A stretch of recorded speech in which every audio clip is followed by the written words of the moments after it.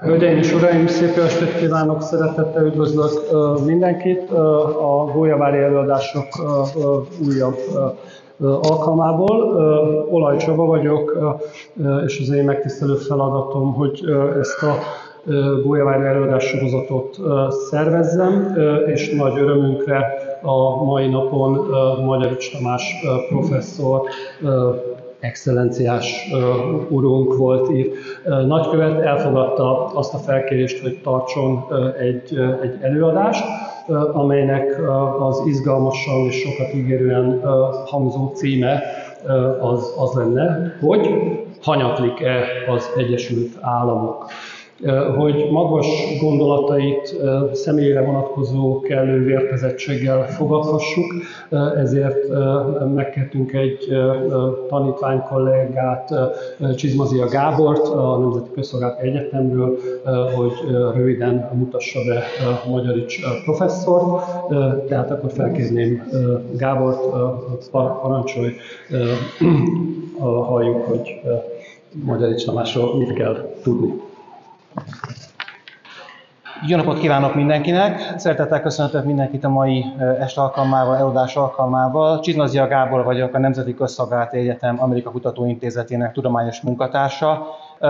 Mint említésre került, az én tisztem, hogy bemutassam Magyar is professzor urat, bár ezen a helyen és ebben a körülményekben úgy gondolom, hogy tulajdonképpen egy kicsikét hát fölösleges az én szerepem milyen szempontból, mert hogy az, aki foglalkozik az Egyesült Államokkal, vagy transatlanti kapcsolatokkal, vagy egyszerűen az angol száz világhoz valamilyen közel, vagy valamilyen kutatómunkát folytat, akár hallgatóként, akár tudományos munkatársként, hát előbb vagy utóbb találkozik egyébként tanár a nevével.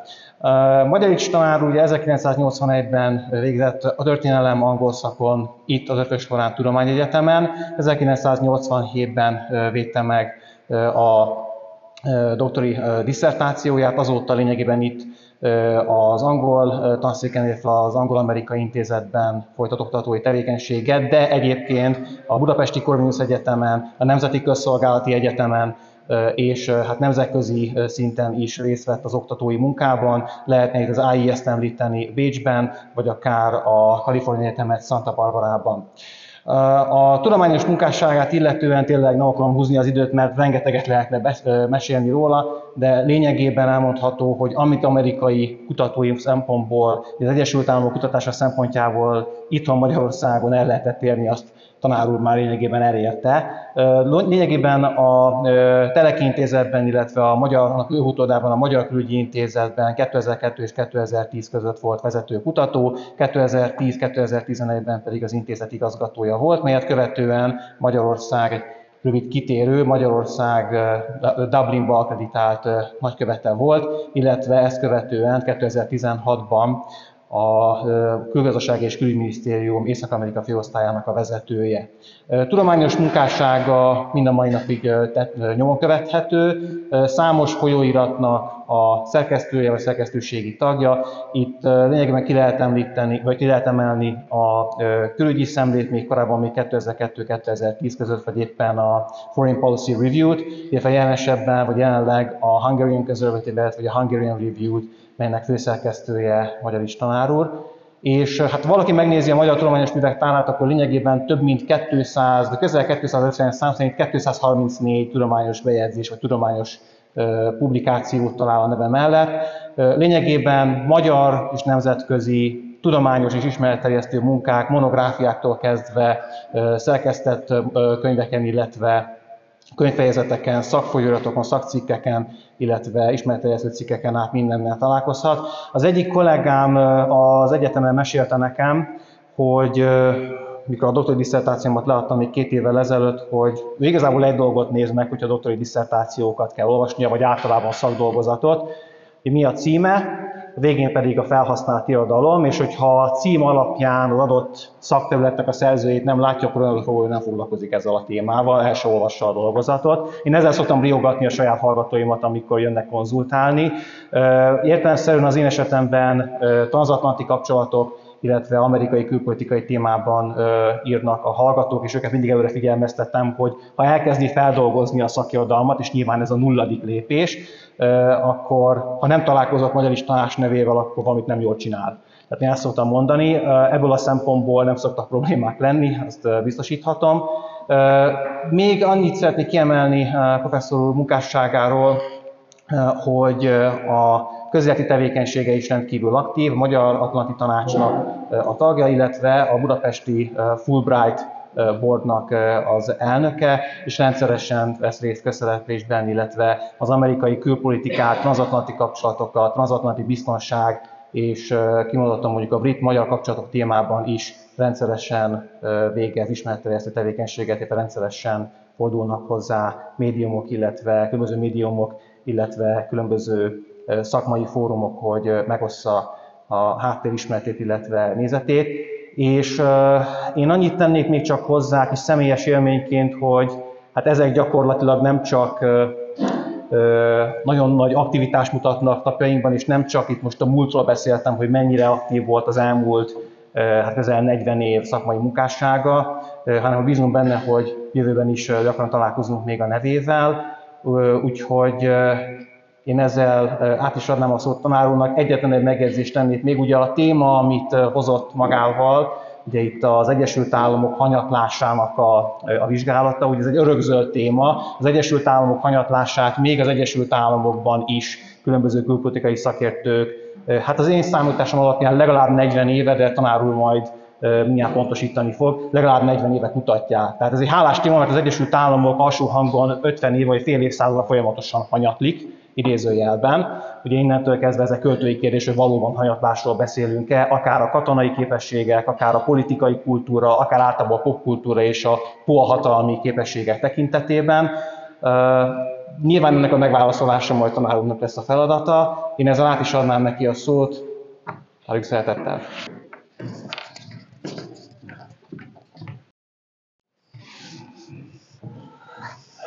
Köszönöm szépen a, a nagyon kedves meghívást először Olasz Csaba professzor úrnak, Csizmazia Gábornak a bemutatást.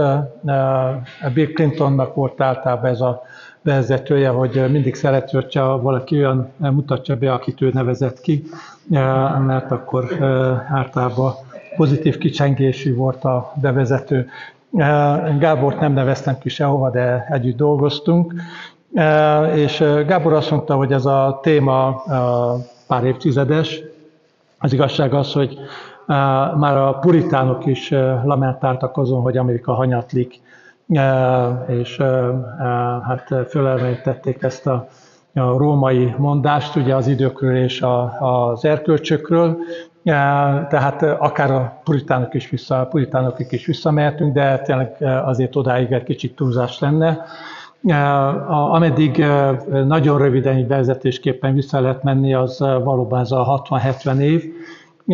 Egyesek Franklin Roosevelt-től számítják a bukást, ami érdekes, mert már azelőtt megtörténik a bukás, mert a hanyatlás miatt felemelkedett volna az első Államok, de Rooseveltet sokan úgy gondolták, hogy a szocializmusnak a szálláscsinálója, és hát vége Amerikának ugye ez a jóléti államnak a, a, a vezetése volt de a komolyabb a, mondjuk tudósok a második világháború utántól kezdik számítani, ami megint csak egy érdekes dolog, mert általában ugye azt mondjuk, hogy a második világháborúban két olyan állam volt, illetve másfél gyakorlatilag, amelyek igazi győztesek voltak, az amerikaiak és az oroszok, illetve a szovjetek mellettük.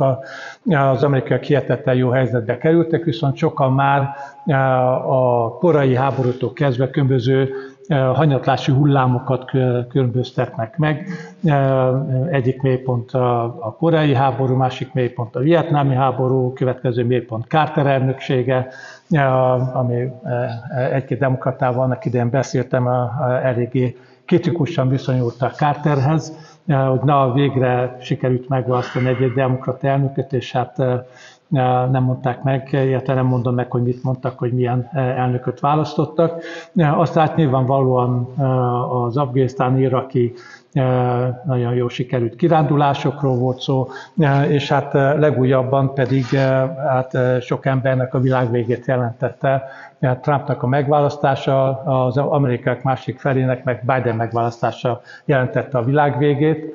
2020-ban az egyik oldal a demokrácia végét vizionálta Trump megválasztásával, vagy annak esetén, a másik oldal pedig a kommunizmusnak a megérkezését Amerikába Biden megválasztásával. Tehát lassanként itt tartunk, hogy az első államok gyakorlatilag, hát nem tudom, hogy milyen állapotban létezik. Erről eszembe jut egy ilyen klasszikus mondás, majd Olaj Csaba tanár utána megfejti, mint filozófus, ami így hangzik, hogy a hegemónia már nem az, ami egykor volt, és már akkor sem volt az. Tehát a kérdés az, hogy volt, mikor volt és mi volt. Na most egyáltalán az, hogy hegemóniáról beszélek, ez nem jelent értékválasztás, mert az Egyesült Államoknak a vezető szerepéről sokfajta elnevezés vagy elmélet született. Ez egyik ugye a birodalom, amit az amerikaiak nem szeretnek, főleg mondjuk Gibbon óta nem szeretnek, ugye hát a római birodalom bukása és hanyatlása, tehát a római akkal való összehasonlítást általában nem szeretik, és hát a birodalom, ők nem birodalom, tehát ilyen rossz ízű párhuzamokat a spanyolokkal, meg a portugálokkal, meg az angolokkal, meg a franciákkal nem nagyon akarnak vállalni. A másik a primátus, hogy hát egyszerűen e, első számú hatalma, és végül hegemónia, e, ami azt jelenti, hogy e, hát bizonyos szempontból az első államok olyan helyzetben van, hogy érvényesíteni tudja az akaratát a világ nagy részén. Na most a világ nagy részén, tehát amikor arról beszélünk, hogy hegemónia, ez nem globális. Az első támok sem tudta érvényesíteni az akaratát mondjuk, mondjuk Kínában, mondjuk a Wuhani laboratóriumokat nem tartotta ellenőrzés alatt annak idején, egy-két évvel ezelőtt, és egyéb kérdésekbe sem nagyon tudott mondjuk a beleszólni a kínai belügyekbe, az orosz belügyekbe hasonlóképpen a hidegháború alatt, tehát azért kis túlzással azt mondhatnám frivolul, hogy félvilági hatalom volt, és nem egészvilági hatalom, de hát ez is azért eléggé szép nagy területet tölhet föl. Az egész nyugati féltekét, csendes óceánnak egy részét, és hát a közel-keletet, amit sokan a úgynevezett globális Balkánnak neveznek, ami egyre kevésbé van ilyen például az elnőzés alatt. Szóval hát ennek a, a rövid vezetőnek a, a végén szeretném nagyon röviden ismertetni, hogy miről kívánok beszélni a következő mondjuk 50 percben, de szigorúan meghagyták, hogy hosszabb ne, hosszabban ne beszéljek, mert akkor mindenki elalszik vagy elmegy. Tehát az első kérdés a katonai kérdés, tehát mondjuk a a hatalmi spektrumnak különböző aspektusait venném sorba, tehát nem abszolút kimerítő módon, de hát a katonai az rendkívül látható, a kemény hatalom, a gazdasági, ami ugyancsak elég jelentős mértékben látható és nagyon fontos, utána a politikai, és végül pedig ezen, ebben a részben a a kulturális vagy puha hatalom, illetve az, hogy az első támoknak a belpolitikája mennyire tudja alátámasztani a külpolitikát, hiszen a bel- és külpolitikák a, az, a, a mondjuk a, az együttese, együtt mozgása az abszolút evidencia nemzetközi kapcsolatok történetében. Hát kezdjük a katonai valami, hát számokból kiindulva rendkívül egyértelmű, hogyha ragaszkodnak hozzá, én 37 kategóriába tudom felsorolni azt, ahol az amerikaiak a, mondjuk a kínaiakkal szemben vezetnek, és kettőbe ahol a kínaiak, de mondjuk a 37-et lesükítem néhányra, mert tényleg nem akarok visszajönni a jó indulatukkal.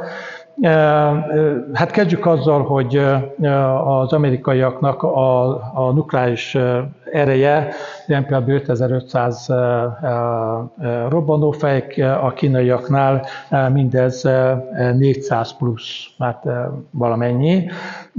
Ezek közül a deployt, tehát hogy mennyit telepítettek, az amerikaiak 1644-et, a kínaiak zérót telepítettek. Most a hadászati nukleáris fegyvereknél a helyzet úgy fest, hogy 5198 amerikai oldal, 290 a, a, a kínai, a hadászati vagy stratégiai, vagy pedig, hogyha a hadszintérítés, a, a taktikait, vagy taktikait nézzük, 230-110 az arány az amerikaiak javára. Ja, persze itt nem szabad csak a számokban gondolkozni, hiszen köztudott, hogy a nukleáris erőnél az úgynevezett küszöbérték az fontos, tehát az, hogy a 400 potenciális nukleáris mondjuk robbanófej milyen pusztítást tudna adott esetben véghez vinni az első tankba, és ezt vállalnák-e az amerikaiak, akiknek a küszöbértéke köztudottan alacsonyabb, mint sok más népé, Korea, Vietnám és egyéb helyeket nézzük, akkor ezek a kiugróan aránytalan dolgok nem is annyira aránytalanok, legalábbis a gyakorlatban. A gyakorlatban viszont Beszélhetünk a történelmi visszatéréséről. Sokan félreértették különben ennek idején Fukuyamát, ő nem azt mondta, hogy vége a történelem, nekem bizonyos aspektusokban. A történelem visszatérése, tehát magyarul a hagyományos katonai erő és a konfliktusoknak a, a megszaporodása, illetve az ezeket menedzselő fegyverrendszerek. Itt az amerikaiak megint csak rendkívül jó állnak, az oroszokkal, bocsánat, a kínaiakkal szemben, az oroszokat nem is említem most ilyen pillanatban. Repülőgép hordozóknál 11-3 az arány. A három az úgy fest, hogy egy befejezett, kettő építés alatt. A befejezett az megörökölték vagy az oroszoktól, vagy az ukránoktól, vagy mindkettőtől, és azt építgették át. Tehát magyarul a tengereket az első államok uralja. Atlanti és a csendes óceán, ami azt jelenti, más szóval, hogy az úgynevezett erőkivetítési képesség az amerikaiaknak páratlan. Tehát a kínaiak erőkövértítési képessége az a dél-kínai tenger és a kelet-kínai tenger nagyjából, az amerikaiaknak Spitzbergától Patagóniáig terjed körülbelül. Persze más kérdés, hogy ezt mennyire hatékonyan tudják, de elvileg és elméletileg ez a helyzet. Hogyha még egy nagyon fontos fegyverrendszert nézünk, és ígérem ez az utolsó ilyen pillanatban, az SLB-t, tehát a, a, a a tengeralattjáróról indítható balisztikus rakétákat, amelyek rendkívül fontosak, nagyon nehéz a tengeralattjárókat felfedezni. 336-75 az arány az amerikaiak javára. Tehát minden tekintetben, kivéve kettőt, tényleg nem vicceltem, akkor kettőt mondtam, az űr és a, a kibertnél a kínaiak eléggé gyorsan fölzárkóznak, mert ezek, ezeknél át lehet ugrani különböző fokozatokat, másrészt pedig gyorsabban lehet fejleszteni sokszor ezeket, mint mondjuk egy repülőgép hordozó anyahajót felépíteni. Tehát ezek a puszta számok. Na most a puszta számokon túl nagyon fontos az, hogy egy ország, ilyen például az Egyesült Államoknak a, a, nyilván nem magára támaszkodhat csak. Nagyon fontos az, hogy szövetségi rendszere milyen, és, és az hogyan néz ki, milyen állapotban van. És hát ilyen pillanatban ez eléggé rossz ír azoknak, akik az amerikai hanyatlásba bíznak, mert a szövetségi rendszere, a katonai szövetségi rendszere nem hogy gyengült volna, megerősödött az utóbbi időben. Hát egyrészt ugye ez a finn-svéd csatlakozás, a skandináv csatlakozás a NATO-hoz, illetve a NATO-t összép húzták, előtte azért eléggé sok kérdésben nem nagyon értettek egyet. Második, ami nagyon fontos, a csendes óceáni képességek és az ottani szövetség.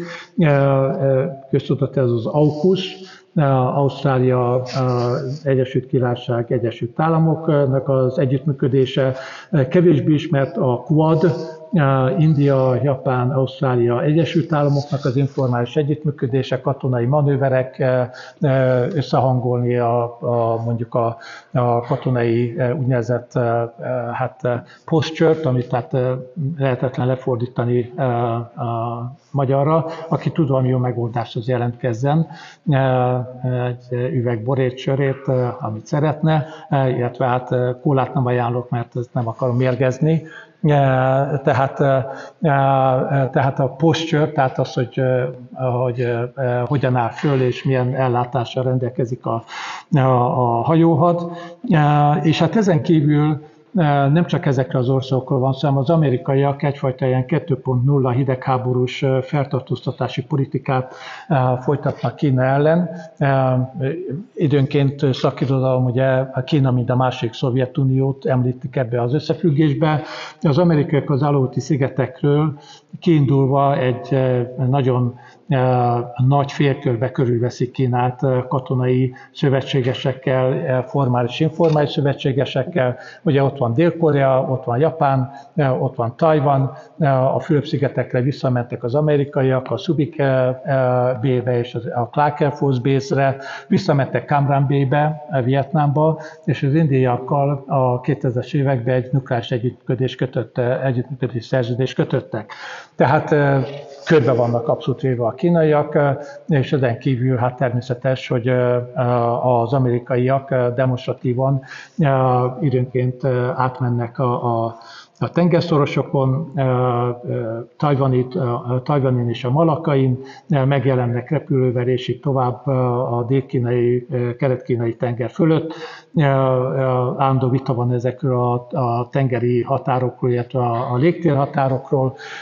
Szóval összefoglalva, az amerikaiaknak a szövetségi rendszere meglehetősen jó. Kicsit hasonlít az 50-es évekbelihez különben, ahol volt az Anzusztól kezdve a Seaton, Szenton és a nato keresztül, ugye Észak-Európától egészen le Ausztráliáig, Új-Zélandig. Kínának a katonai szövetségesei, röviden el lehet intézni, zero Egyetlen egy olyan támaszpontjuk van, egyfajta Djibouti-ba, de az is inkább a kalózok ellen. Az amerikaiaknak a támaszpont rendszere kb. 600 létesítményt foglal magába a világon szétszórva. Ezek közül kb. 36, ami komoly, a többi pedig lokátorállomás, radarállomás és így tovább. Ezen kívül hát ott van az öt szem, ami nem egy indiánnak a neve, az egész világot beállózó hírszerzési és lehallgatás és egyéb rendszer, plusz még hát ugye magánerőből is ugye hallgatnak le mindenkit, akit éppen tudnak. Tehát az amerikaiaknak ilyen szempontból hihetetlen előnye van a kínaiakkal szemben. A második vagy harmadik ilyen előny, egyszerűen, hogyha ránézünk a térképre, az Egyesült Államoknak hagyományosan a, a hihetetlen nagy szerencséje van a, a, az elhelyezkedésével, a, geo, a, a geostratégia vagy geopolitikai elnevezés, elhelyezkedése. Megint csak Olaj Csaba tanár úrra nézek el, Bismarcknak volt valamilyen mondása, hogy a Jóisten a részegeket és az első támokat mindig védi, tehát az amerikaiakat is ilyen szempontból védték, és ugye ez a klasszikus mondás, hogy nagyon jó a helyzetük, mert keleten nyugaton van a két utcán, benne halakkal, északon délen pedig Kanada és Mexikó, ugye megint csak nem egy komoly ellenfél. A kínaiakat viszont, hogyha most megnézzük, ugye ott van Oroszország a szomszédjukban, India a szomszédjukban, Japán a szomszédjukban, plusz ugye az amerikaiak is azért ott vannak. Tehát a, egyáltalán a, a két országnak a geostratégiai helyzete ugyancsak majdnem, hogy nem említhető egy lapon. Na most a következő ez a költségvetés, ami Hát egy kicsit trükkös dolog. Az amerikai jelen 860 milliárd dollárnál tartanak, a kínaiak 280-nál hivatalosan, de hát Sokan azt mondják, hogy a kínaiak azért nem minden gombot fognak elszámolni, vagy számolnak el. Az amerikaiak általában minden gombot elszámolnak, tehát ebből benne van sok minden, de akkor is mondjuk két-háromszoros minimum a költségvetésük, hogyha egyik helyen jobb indulatúak vagyunk, másik helyen kevésbé indulatúak vagyunk, és ezt a, a, a különbséget tartják az amerikaiak.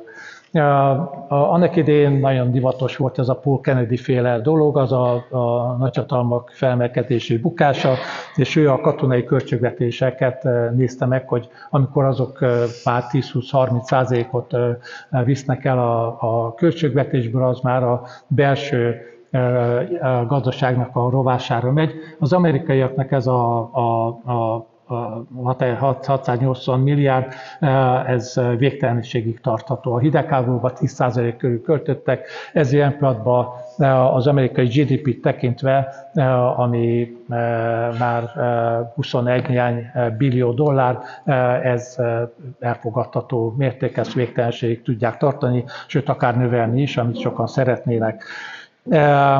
Szóval mindent összevetve, legalábbis nagyon slágvortokban, a katonai a dolgokat tekintve az amerikaiak nem nagyon csúsztak lejjebb, megtartották a pozíciókat. Persze mondhatjuk azt, hogy na hát akkor mi van Koreában, mi van Vietnámban, mi, van, mi volt Irakban, Afganisztánban, és így tovább.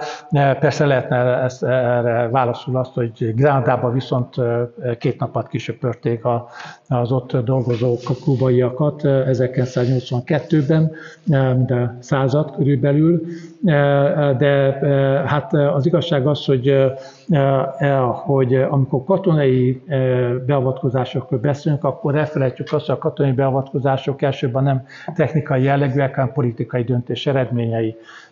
És hogyha a politikai döntés nem megfelelő, illetve a politikai célok nincsenek megfelelően kitűzve, mind ahogy hát úgy mozgó célponttal lőttek az amerikaiak több ízben, a Vietnámba többek között, vagy Afganisztánba, Irakba, hogy most nemzetépítés, magyarul államépítés, vagy nem államépítés, terrorizmus ellen, vagy nem terrorizmus ellen, csak könnyű lábnyom, nehéz lábnyom, és így tovább.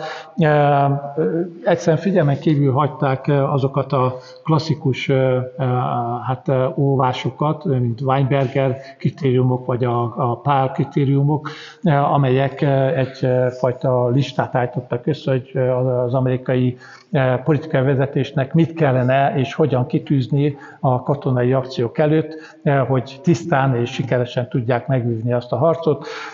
Hát ez nem a katonaságon múlik elsősorban, Persze, hát a katonák azok katonák, a klasszikus mondása a Curtis Lömének, a, a stratégiai légierő parancsnokának, aki a, a, a úgynevezett szőnyegbombázás és egyéb hát, újdonságoknak a, a, a kitalálja volt a második világháborúban. Vietnámi háború alatt azt mondta, hogy csak egy hét alatt megnyertük volna a, a, a háborút, hogyha hagyják, hagyja a politikai vezetés, hogy azt csináljuk, amit akarunk, amit kell, és amit kellett volna az az, hogy lebombázni Vietnámot a, a, vissza a kőkorszakba, leaszfaltozni az országot, és utána hát indulhatott volna a demokrácia projekt amire valaki azt mondta, hogy hát egy kicsit nehéz lett volna, mert Vietnám a kőkorszakban volt, tehát nehéz lett volna még jönben visszabombázni. Minden esetre a, a katonai és a politikai vezetésnek a, a kapcsolata nem a legharmonikusabb sokszor, de hát ez az erőkivetítésnél adott esetben, hogy nagyon kell az amerikaiaknál azért megvan. Na most a gazdaságnál klasszikus, hogy mindig Kínát hozzák föl, hogy na hát a kínaiak már a a PPP-be, ez a Purchasing Power-nél, és nem pedig uh, ilyen, uh, ilyen power, pro, power projection, nem tudom, milyen, uh, mit szoktak használni, itt a szlájdokat használják, annak mi a neve, hogy a kínaiak beérték az amerikaiakat. Holott 1960-ban, tehát 61 éve ezelőtt 22-szeres különbség volt az amerikai és a kínai gazdaság között, 22-szeres. Tehát az amerikai gazdaság 22 nagyobb volt, mint a kínai gazdaság akkor, legalábbis a számokat tekintve. de azért hozzá kell tenni azt, hogy, hogy ilyen pillanatban számtized milliárd kínai termeli ezt, szemben 330 millió amerikaival, és a struktúra az nagyon sokat számít. A kínai struktúra az még, ahogy valaki megjegyezte, az inkább az iPhone-okat, és nem pedig a, Steve Jobs-okat preferálja, tehát magyarul, hogy összeszerelő üzem, és nem pedig a Steve Jobs, tehát az innováció az, ami elsőbb a kínaiakat jellemzi. De hát mondjuk ez volt a japánokkal is, mindenki mert bocsánat, a kifejezéség kinevette, vagy kirögte a japán autókat és minden egyebet az 50-es években, utána pedig a 80-as években letarolták az amerikai piacot. Volt olyan, hogy 50%-ban japán kocsikat adtak el a, a, a, a, a üzemanyagválság alatt. Minden esetre az, hogy az, az amerikaiak a 40-es években a világipari termések 45%-át adták, most pedig 20 körül adják, de ez valóban relatív csökkenés, ez nem lehet vitát indítani, még világjártása tudna erről vitát indítani, de azért, hogyha számok mögött, mögé nézünk, azért egy-két érdekességet látunk, és megint, hát hogyha gazdaságról beszélünk, ugye ez a, a, a, a ronda a tudomány, a nasty science, egy-két számot azért mindenképpen kell mondani. A 1990-ben az amerikai GDP, a világ GDP 25%-a volt, ilyen pillanatban 25%. Tehát ez nem változott, 40-es évekhez képest gyengül, de 90-es évekhez képest nem. Annak ellenére a kínaiak ugye kilőttek utóbbi egy-két évtizedben. Hogyha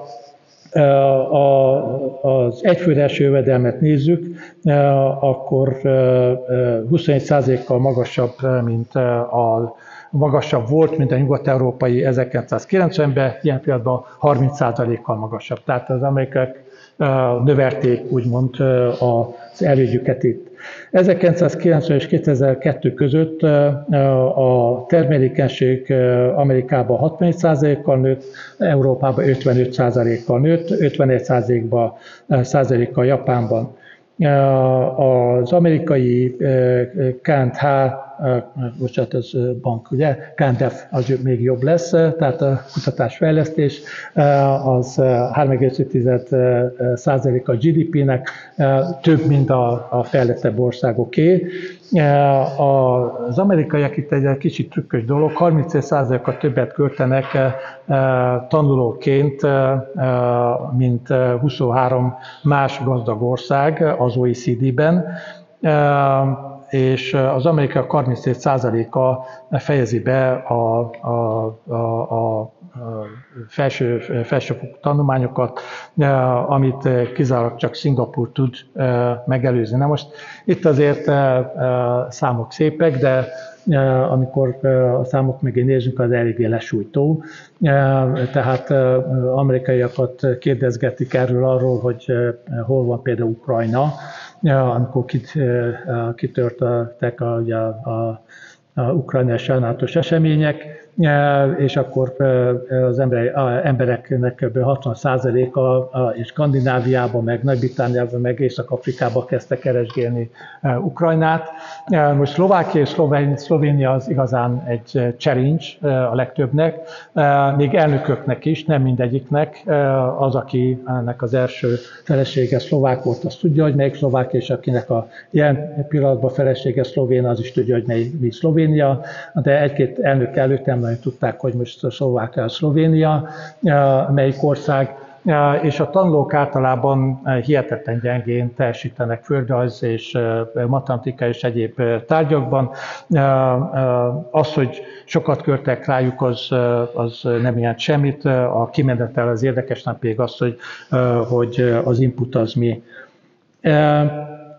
Az amerikaiaknak a, a, az elfoglalta, tehát a világ pénzügyi világába elfoglalt helye ugyancsak ezért meglehetősen jó. Sokat beszélnek ugye arról, hogy az utóbbi időben az amerikai dollár megrendült a pozíciója, és a kínaiak ugye jönnek föl rettető módon. Na most a legutóbbi adat szerint egy OECD adat napi 6 billió dollárnyi összeg cserél gazdát ilyen pénzügyi tranzakciók során.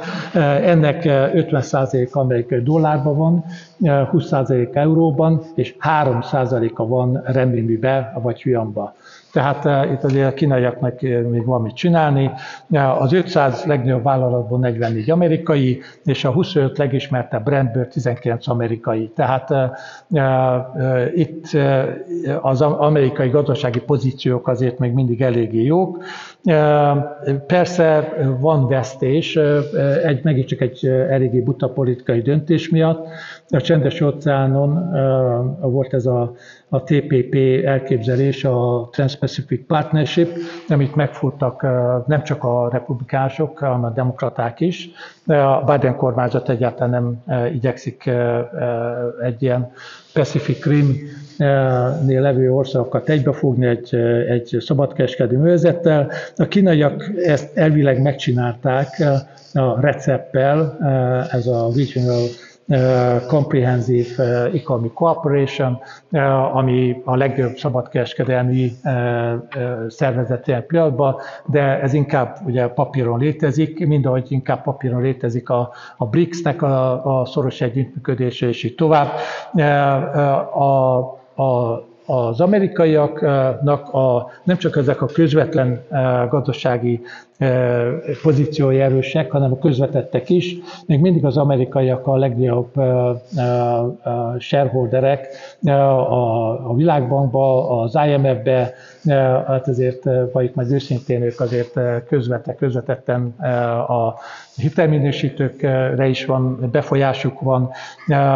Szóval a közvetett közvetlen amerikai gazdasági erő az még mindig meglehetősen nagy, és hát amit az amerikaiak csinálnak ilyen pillanatban, az, az tovább fogja erősíteni az amerikai gazdasági pozíciókat, és érdekes módon ez a, a trükk, ami nem annyira trükk, mert hát elég átlátszó, ez azt jelenti, hogy Európát leválasztják az orosz gazdaságtól. És az európai jóléti államok egy részben úgy épültek föl, hogy olcsó energia az oroszoktól, technológia az amerikaiaktól, Marshall Plan és így tovább, és a kettőt együtt ugye össze tudták jól kombinálni. Most az amerikaiak úgy gondolják, az európaiak eléggé veszélyes gazdasági versenytársak lehetnek adott esetben, és ahogy 2008-ban egy amerikai tisztviselő megjegyezte, nem szabad se kiadni egy jó válságot, hogy az ember valami nagyot alkosson.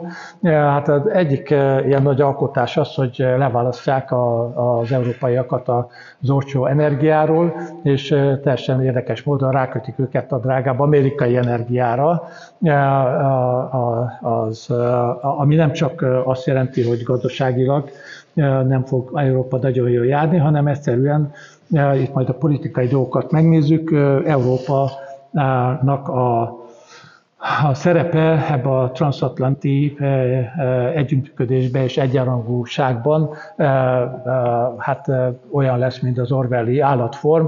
Állatform, hogy vannak egyenlőbbek, és hát az egyenlőbb az nyilvánvalóan nem Európa lesz. Európa jelen pillanatban ebbe a, a gazdasági hát átalakulásban nem áll nagyon jól, nem is szólva arról, hogy az amerikaiak nem csak a, az olaj és gáz exportot szeret, tették volna.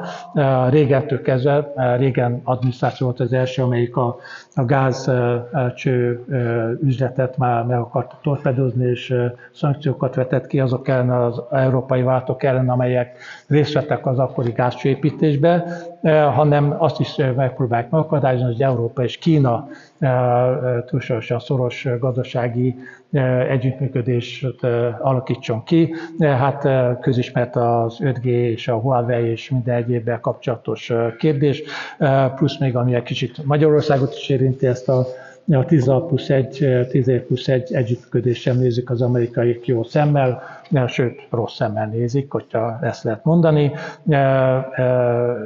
Sokan úgy gondolják, hogy, hogy a, a, a kínaiaknak a nagy stratégia az, hogy nyilvánvalóan nem tudnak az amerikaiakkal versenyezni a tengereken, a többek között az említett okok miatt, ezért szárazföldön próbálják egyensúlyozni az amerikaiakat a úttal, és úgy bejutni Európába, és hát Európát minél szorosabban Kínához kötni ilyen szempontból.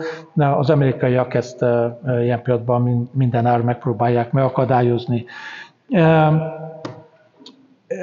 Hát nagyjából ez a gazdaság, és itt a gazdasági kérdéseknél hát természetesen beszéltünk az innovációról, beszéltünk arról, hogy hát az amerikaiak vezetnek biotechnológiától kezdve sok minden egyébbe, és amikor az oktatásról eltettünk szót, akkor hát gyakorlatilag az amerikaiak azt csinálják, hogy lefölözik a, a, az agyakat az egész világon, annak idején Lee Kuan Yew, a szingapúri miniszterelnök mondta, hogy hát lehet, hogy a kínaiak 1,3 milliárd emberre támaszkodtatnak, de az amerikai 2 milliárdra, mert akkor annyi volt a, a népessége a világnak, ugye onnan el tudják szipkázni a legjobb agyakat, még mindig, és hát ezért a közép- meg alsófokú oktatásnak a minősége azért annyira nem döntő ebbe az egész összefüggésben.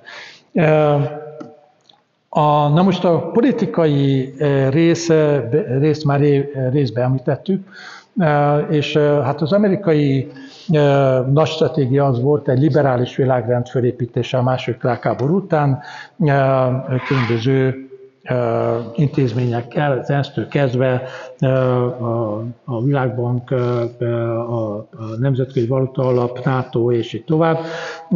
És ezt a, a politikai és gazdasági NATO nem csak védelmi, hanem politikai együttműködés is, ezt próbálják minden áron fenntartani.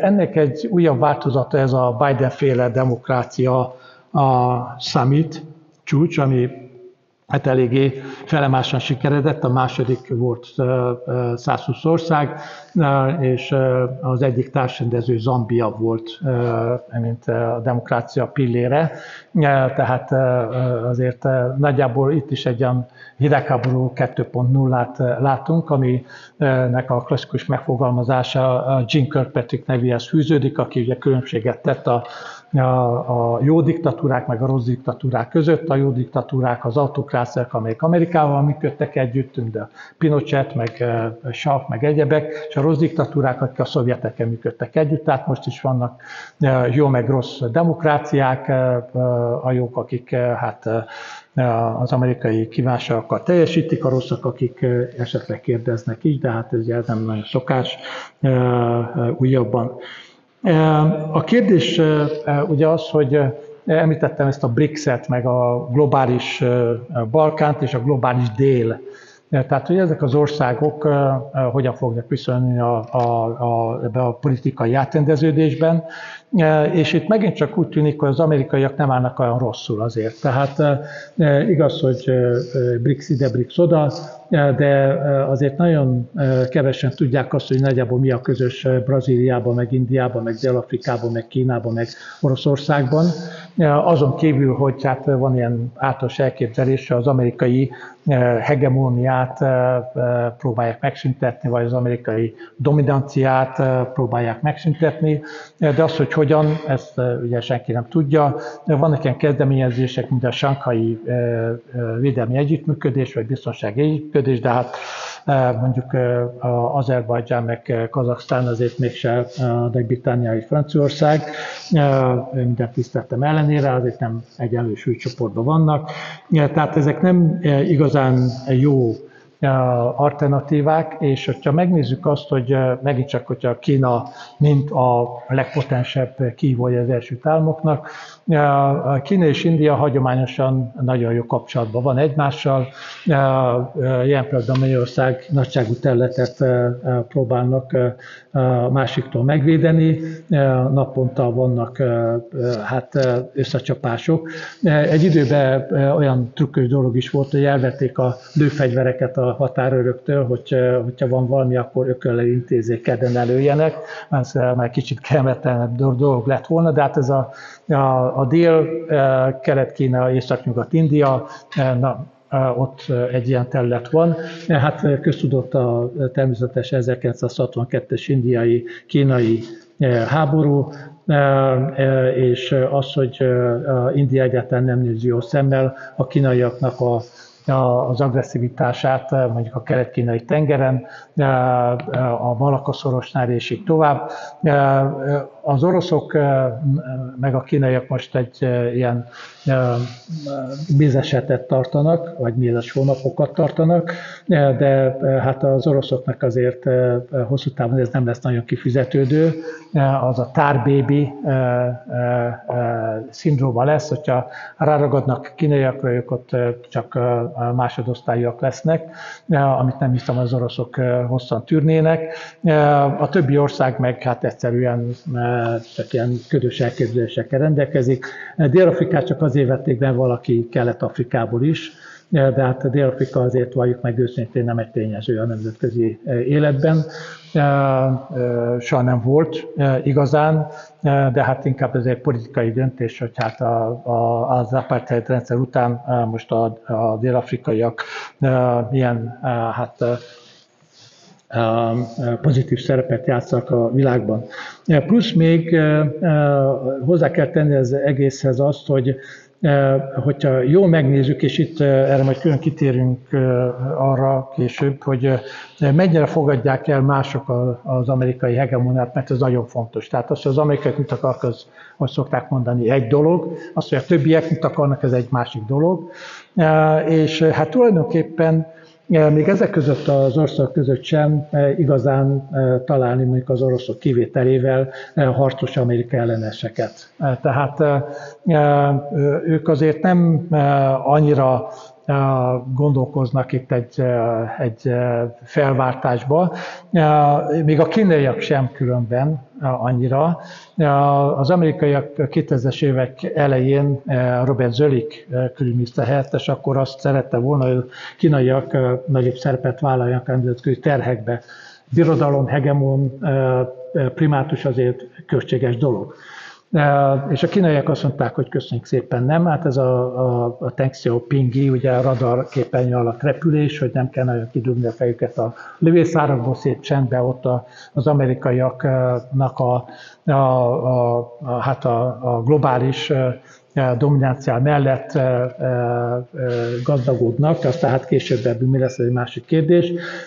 Ugyanis például az egyik olyan dolog, amit az amerikaiaktól nem nagyon akarnak átvenni, és nem is tudnak ilyen pillanatban, a, a nemzetközi kereskedelemnek a biztosítása többek között az úgynevezett globális közös tereknek a biztosításával. Tehát, hogy nyitva tartsák a Perzsa öblöt, öblöt, valamelyik, a Malakaszorost, a Tajvani szorost, és általában a, a, az úgynevezett tengereket, ahol a, a, a világkereskedelmnek óriási hát, hányada folyik. Erre a kínaiaknak ilyen se technológiájuk nincsen, se pedig akaratuk nincsen.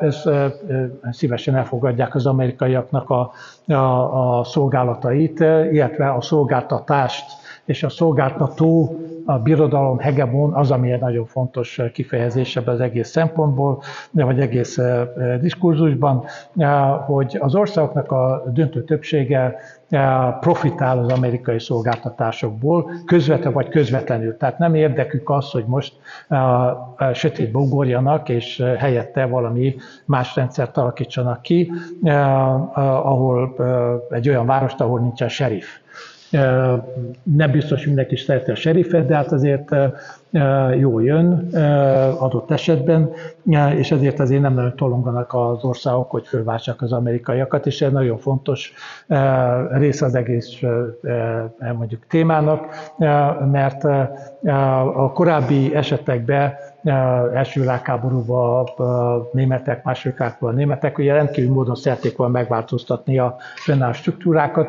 most azért nincs ennyire nagy elköteleződés.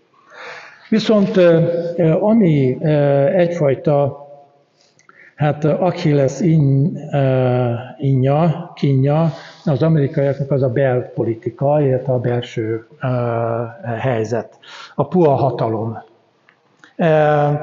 Ugyanis szuronyokon nem lehet ülni, illetve lehet ülni, csak nem elég hosszú ideig. Megint csak azt hiszem Bismarck volt talán. Mindig visszatérünk Bismarckra. Jó lenne, hogyha mások is többet gondolnának rá és az ő politikájára. Tehát szőnyökön nem lehet ülni, kell valami kínálni az, az embereknek. Hidegháború híresen a szívekért és az agyakért ment. Hearts and minds. Tehát én emlékszem, hogy amikor az első McDonald's megnyílt, akkor még az értem ott volt bent a a, a piarista közben, és nagyjából majdnem a, a Vörösmarty térig állt a sor. Nem azért, mert a, a Big Mac, ahogy mondták, annyira ízletes lett volna, mert amerikai élményt akartak az emberek, és hát sharing the American experience és hát ugye minden, ami amerikai. Ilyen pillanatban ez azért kicsit megfakult. Tehát az amerikaiak arról beszélnek, hogy az amerikai álom megfakult, és már nem az, ami volt, visszatérve az előző dologra, hogy nem is biztos, hogy volt már akkor amerikai álom, de hát mindegy, tegyük föl, hogy már akkor is valami volt. De amerikai álom megfakult. Na most a egyik érdekes dolog a hidegháborúval kontrasztba, hogy a hidegháború alatt az amerikai puha hatalom az univerzális értékekről szólt elsősorban. Tehát szabadság, emberi jogok, polgárjogok és így tovább. Most pedig némileg provinciálisabb lett, úgymond a mainstream amerikai puha hatalom, a, a, a BLM-mel, meg a kritikai fajelmélettel, meg minden egyébbel, meg a vókkal, amivel nem nagyon sokat tud kezdeni a világ országok nagy része, mert tehát se az életben nem volt náluk rabszolgaság, náluk sok ilyen kérdés, kritikai fajelmélet, hogy most az egész struktúra ez a fehér embereknek a a, a, a, mondjuk az uralmát szolgálja, ez mondjuk Kínában nem nagyon megy, vagy Szaudarábiában, az iszlám országban, és így tovább. Tehát ezek, ezek provinciálisabbak lettek, kevésbé húzósak már, mint a hidegháború alatt voltak.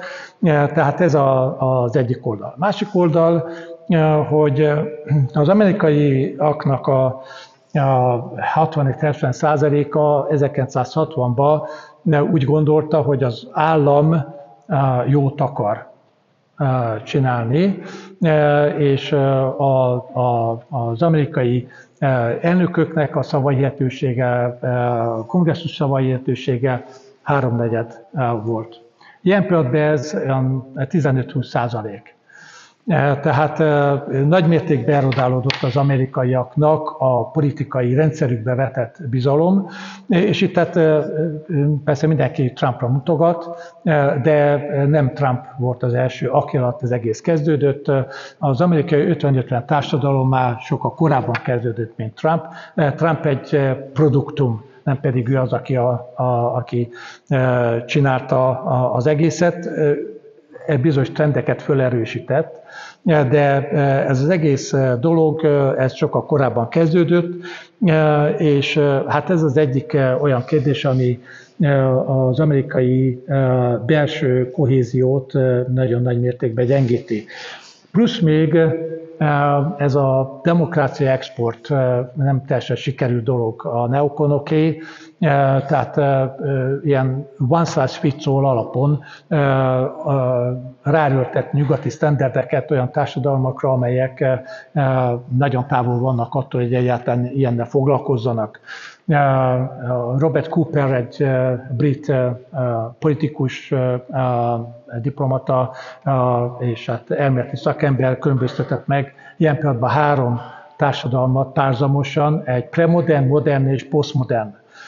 A premodern, mondjuk ilyen Afganisztán jellegű dolgok, a modern, mondjuk a oroszok, akik hát kizárólag a, meg a kínaiak, akik, akik a az erő egyensúlyi vagy hatalmi egyensúlyban hisznek, és a posztmodern, mint mondjuk a nyugat-európaiak vagy az amerikaiak időnként, akik hát túl akarnak lépni ezen a, az egész dolgon. Hát mondjuk az ukrán helyzete kapcsolatban az egyik alapvető, hát nem félrétés, hanem hát ok az egészre, hogy az oroszoknak Ukrajna az utolsó védelmi vonal, hogyha Ukrajna úgymond elesik, akkor 400 km lesznek a NATO, illetve amerikai katonák Moszkvától, az amerikaiak nyugat szempontjából, az oroszoknak is milyen jó lenne, hogyha Ukrajna demokratikus piacgazdaság lenne, békés állam Oroszország határai mentén, tehát a, a posztmodernek win-winbe gondolkoznak,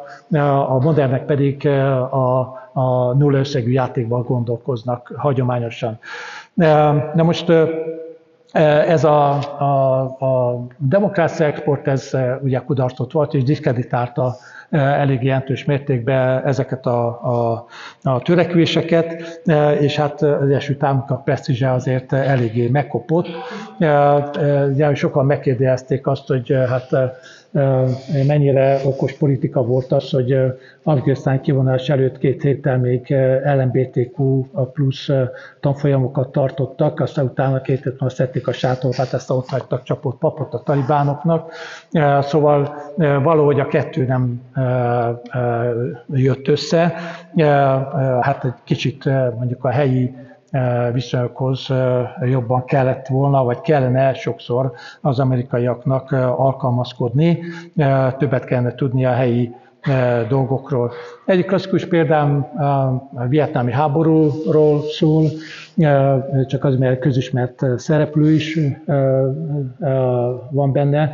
Richard Holbrook, aki hát azt hiszem ismerős Magyarországon, itt nősült meg x alkalommal, és a, a, a felesége ugyancsak x alkalommal ment férjhez, ez Kati Marton, akinek az előző férje Peter Jennings volt, egy ABC műsorvezető, és Richard Holbrook a pályafutását 60-as években kezdte, mint diplomata, és az első állomás helye Saigon volt, de ez 65-66-ban, tehát nem amikor kezdődtek a dolgok, és a felkészítése abból állt, hogy Hawaii-ban, amikor felszállt a gépre, a kezében nyomták Graham Greennek a Csendes Amerikai című könyvét, hogy hát ebből meg fogja ismerni a, a vietnámi valóságot. És utána ő volt Saigonban politikai tiszt. Na most ez egy kicsit kellemetlen volt akkor, de sok szempontból helyzet nem nagyon változott sokan ugye nem tudják, hogy hova kerültek, kicsit idegen mozognak a terepen, de hát mondjuk az amerikaiak azt mondják, hogy ők ezt is megtehetik, mert hát legfeljebb, hogyha valakinek nem tetszik, akkor, akkor hát nem nincs olyan nagy szükség az amerikaiaknak, rájuk nagyobb szüksége van az adott ország, mint nekik az adott országra.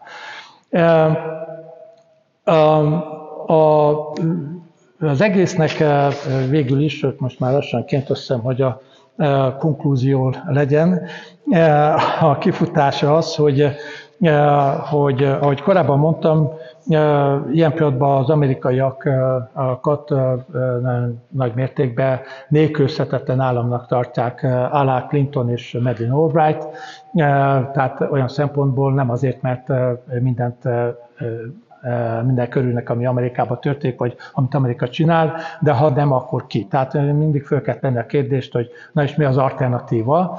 Az alternatívák általában még rosszabbak, tehát az egész amerikai hegemónia olyan, mint a Churchillnek a híres definíció a demokráciáról, hát jobbat még nem találtak ki, vagy ilyen pillanatban nincs jobb ennél.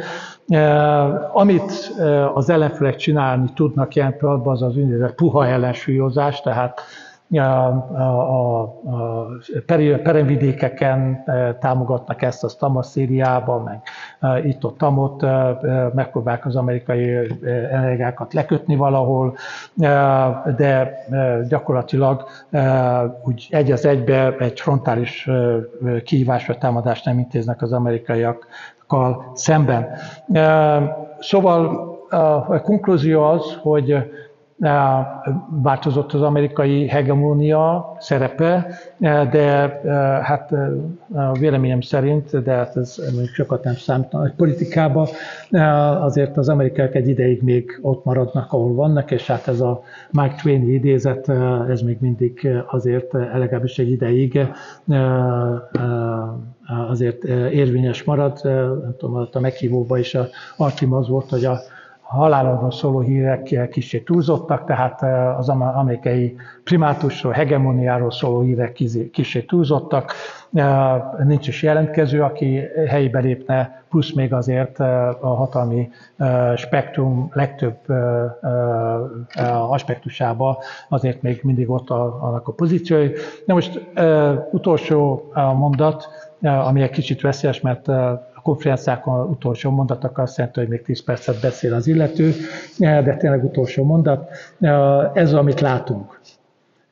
És hát nem azt mondom, hogy teljesen olyan az amerikai hatalom, mint a jéghegy, de azért eléggé sok láthatatlan része van a még az amerikai hatalomnak, közvetett, közvetlen, amit adott esetben tudnak érvényesíteni sok különböző formában, és hát ebben még mindig azért eléggé jól állnak. Úgyhogy egyelőre még ott tartunk, hogy első támok valóban primátus élvez. Nagyon szépen köszönöm a megtisztelő és türelmes meghallgatást. Köszönöm szépen.